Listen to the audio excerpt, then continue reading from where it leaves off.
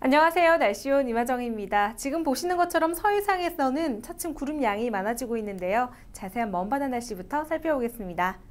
오늘 오후 서해와 동해 중부 먼바다는 구름 많겠습니다. 바다의 물결은 최고 2m로 일겠습니다. 내일 오전 서해 먼바다는 흐리고 한때 비가 내리겠습니다. 물결은 0.5에서 2m로 일겠습니다. 내일 오후 전해상이 흐리고 비가 내리겠습니다. 물결은 최고 2m로 일겠습니다. 다음은 제주도 앞바다 날씨입니다.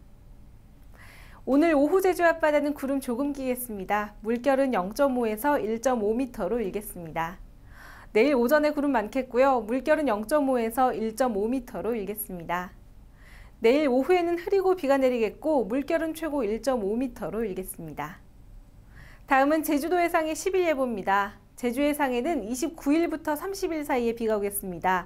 물결은 27일부터 28일 이후로 31일 전 해상에서 2에서 3m로 높게 일겠습니다. 지금까지 해상 날씨였습니다.